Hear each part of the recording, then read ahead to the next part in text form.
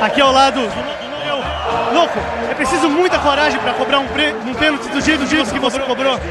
É uma, uma forma que, uno, que eu tenho para segurar um pênalti.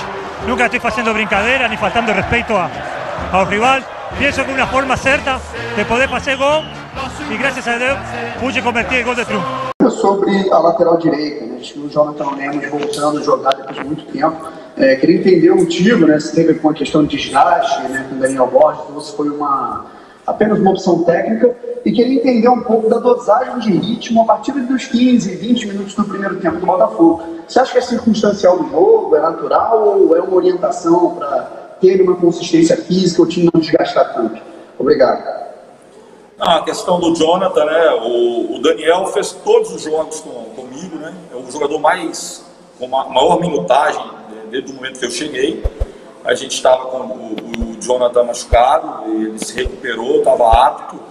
É um jogador que a gente é, confia muito também, sabe da qualidade. A gente achou que era interessante hoje, em função dessa sequência do, do Daniel, dar essa, esse momento para o Jonathan, porque pode ser que daqui a pouco a gente precise realmente, né, numa situação de cartão, numa situação de, de algum tipo de problema. Então era importante a gente fazer isso. Como a gente está né, fazendo quatro jogos, um período muito curto, e a gente já eh, viu que era necessário que a gente pudesse né, tomar essa providência é, para que ele não, não terminasse, né, não fizesse mais 90 minutos aí, o que poderia nos trazer algum problema aí para frente. Em relação ao, ao, ritmo, acho que a gente começou bem o jogo, é, a gente buscou, principalmente no primeiro tempo, é, controlar as ações, acho que a gente teve esse papel, a gente, a gente criou talvez os 15 minutos iniciais com uma presença mais forte, é, como a gente né, não conseguiu fazer o gol, é claro que o jogo vai se equilibrando. É, acho que o segundo tempo nosso a gente não, não conseguiu voltar tão bem assim. E é, depois da expulsão virou um outro jogo. A gente precisa é, concentrar em algum, alguns aspectos, é, defender bem, explorar com inteligência né, algumas situações. E no finalzinho acho que a gente é, conseguiu imprimir um, um ritmo bom, de, de, de, algumas bolas paradas, algumas situações boas, buscando sempre vencer o jogo. Esse é o nosso objetivo. Oi, Anderson, boa noite. Emanuele Ribeiro, do GE. Globo. Você apareceu algumas vezes irritado na transmissão da partida. Queria saber de você o que mais te incomodou nesse empate do Botafogo hoje. Obrigada, um abraço. Não, não é, é a minha forma de trabalhar. A gente está tá ali o tempo todo orientando, cobrando dos atletas algumas situações. É, acho que a gente perdeu muita bola em determinado momento, bolas que poderiam ser trabalhadas um pouquinho melhor. É, a gente podia ter, ter trabalhado né, os dois lados do campo, é, e às vezes até o lado esquerdo um pouquinho mais, que eu acho que era um caminho bom para a gente poder explorar. Então foi mais nesse, nesse sentido, de poder fazer com que os atletas né, tivessem é, essa comunicação, de entender o que, que a gente estava tá, tá, querendo fazer ainda é, antes do intervalo. Mas é situação de que a gente está ligado, cobrando deles sempre. A gente sabe e é preciso né, que a gente possa valorizar é, essa sequência que a gente tem, tem enfrentado, que é, que é muito difícil, às vezes com menos dias né, de recuperação do que as outras equipes, mas a gente está tá tentando sempre fazer um, um, jogo de qualidade. E acho que o, o, primeiro tempo nosso hoje foi muito bom e a gente poderia ter saído aqui com uma vantagem já na, na primeira etapa. Henderson Júlia Camacho, do Bota 3. O Botafogo vem tendo algumas oscilações em jogos fora de casa, bem diferente das partidas do Newton Santos. Queria que você comentasse um pouquinho essa oscilação e se teria algum motivo específico para isso estar acontecendo, principalmente nessa reta final do campeonato. Não, gente, é, eu, eu quando eu falo lá, lá atrás, é, que o que aconteceu com a gente é, uma, é um ponto né, um, um pouquinho fora da curva, é, as pessoas falam assim, não, mas você tá, você não está talvez sendo um pouco pessimista, não. Eu sou, eu sou realista. Eu realmente sabia e sei que numa competição de pontos corridos, numa competição de Série B, onde há um equilíbrio enorme, chega numa fase do campeonato, todo mundo tem muita, todos os jogos têm muita importância. O Vitória sabe muito bem que um resultado hoje aqui positivo, né, é, traz para eles, né, é, uma situação de, de poder sair de uma, uma zona de rebaixamento, dessa proximidade ali. Então, todos os jogos valem muito e a gente sabia da dificuldade. É, jogando fora de casa, é claro que é, são situações que a gente precisa, às vezes, aproveitar melhor as chances que a gente teve. Acho que no comecinho do jogo a gente fez alguns, algumas jogadas boas, criamos algumas situações boas. A gente podia ter, é, talvez, assim, é, caprichado mais um pouquinho, né? Quando você não faz o gol, é, é natural com uma equipe que está jogando também, que ela possa crescer, que ela possa buscar alternativas. Foi um jogo difícil, disputado, né, que a gente teve chance para poder vencer, o Vitória também teve chance para poder nos vencer. É, é, e no final ali, aquele, esse lance do gol, que é um lance extremamente discutível, difícil de poder avaliar, mas eu acho que acima de tudo a gente precisa manter o foco, a concentração, sabendo exatamente da dificuldade que é. A gente, em momento algum, achou que ia ser menos difícil do que tem sido assim. E vai ser assim até o final. A gente tem que continuar concentrado, ligado, para poder voltar aí uma, uma sequência de, de, de vitórias.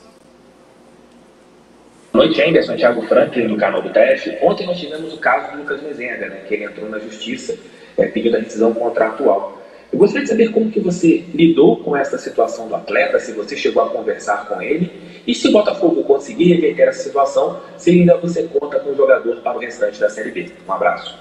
Ah, eu, eu, eu, tive a notícia ontem, a recomendação do clube é para que a gente não utilizasse hoje, é, está a cargo da direção né, de futebol e vamos aguardar né, o que, que, que, que vai acontecer, o que, que será resolvido. Noite, Anderson, canal Fabiano Bandeira. Hoje, além do Botafogo não estar tão inspirado tecnicamente, deu para perceber também um não aproveitamento nas bolas paradas. O Botafogo teve algumas oportunidades até no final do jogo. A que você atribui isso? Essa falta de, de claridade no jogo de hoje, também nas bolas paradas que poderiam decidir a partida a favor do Botafogo. Obrigado.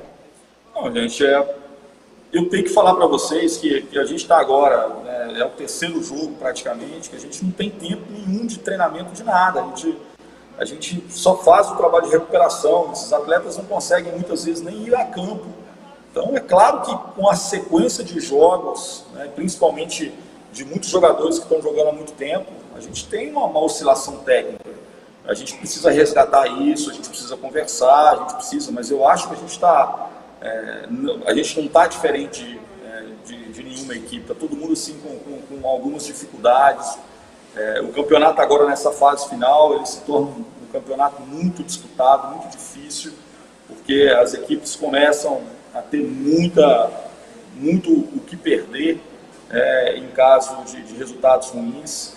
É, pode ter uma, uma, uma definição clara. Algumas equipes estão é, podem, podem pegar uma sequência de bons resultados. Então a gente precisa ter tranquilidade, é, buscar agora um resultado positivo contra o Havaí em casa.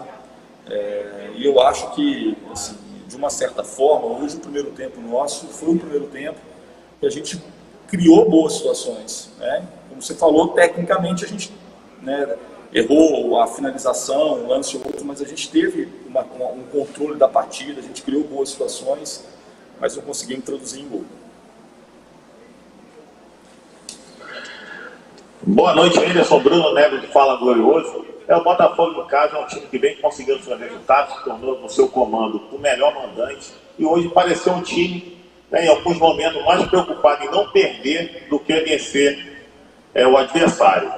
É, isso é fruto do, dos dois próximos jogos em casa, né, jogo direto pelo G4 contra a Bahia e CRB. Obrigado. Não, isso é fruto do futebol, gente. É a coisa natural que em algum momento você tem algumas dificuldades, a, a, a equipe adversária cresça. A gente joga sempre para poder vencer os jogos. Você pode ver isso na, nas escalações, na forma de jogar, na, na, maneira que a gente tenta impor o nosso ritmo. Tem hora que a gente consegue sobressair em cima do adversário. A gente joga contra um adversário que está tentando fazer o seu melhor também. Então, é, é, eu costumo falar que um jogo tem vários pequenos jogos. Então, acho que até os 15 minutos a gente foi muito melhor do que a Vitória, depois deu uma igualada, talvez no final do primeiro tempo eles cresceram um pouquinho mais, o segundo tempo foi parecido, em determinado tempo, quando você fica um jogador a menos, é claro que as suas ações ofensivas elas, elas diminuem. Você precisa ter, né, ficar ligado, ficar é, mais compactado, abrir mão de uma ou outra situação. Isso é natural, e explorar a bola parada, explorar um pouquinho uma transição.